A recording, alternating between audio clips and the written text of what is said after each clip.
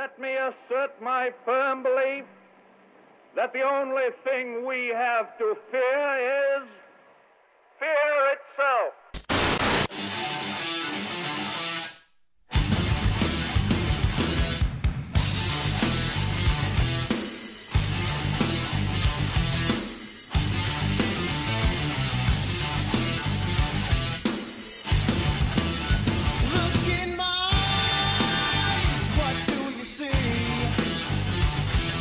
The cult of personality.